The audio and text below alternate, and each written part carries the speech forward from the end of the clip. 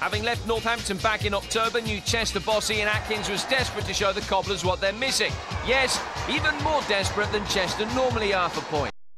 He may have been in charge for less than three weeks, but he's already signed five players, and one of them, Ally Pickering, took just two minutes to prove a point and put them on the way to all three. But Chester being Chester, the lead didn't last long. Steve Howard's 35-yarder making it one-all.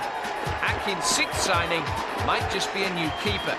The Cobblers' record buy, signed by Atkins for Northampton, scoring for just the fourth time since his move. Just when the Northampton fans were frustrated at one-all, Ian Sampson put them ahead. Sampson, always a good reminder to fans to stop pulling their hair out. Manchester's seventh successive defeat was sealed by Carlo Corazin.